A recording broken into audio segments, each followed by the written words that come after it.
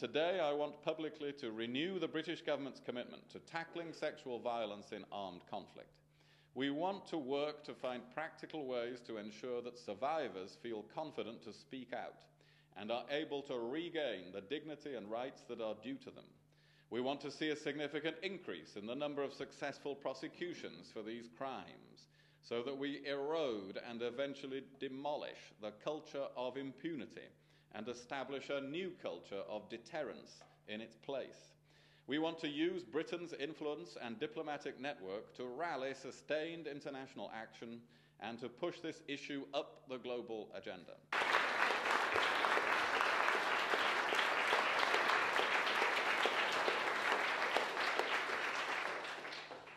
Thank you so much. Um, it is such an honor to be here this evening to launch such an important and very welcome new initiative. Throughout history, rape and sexual violence have been used as weapons of war.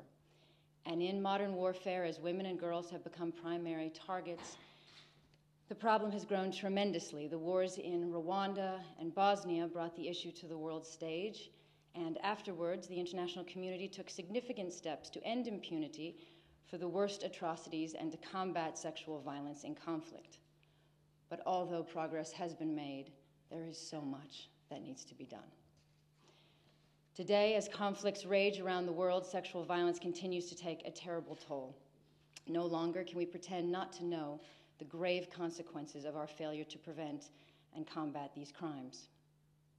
We know what the victims of such crimes want, but don't often get justice and recognition strengthening efforts to gather, preserve, and act on evidence of sexual violence during war may afford greater justice to the victims and prevent even more widespread violations. It is so important.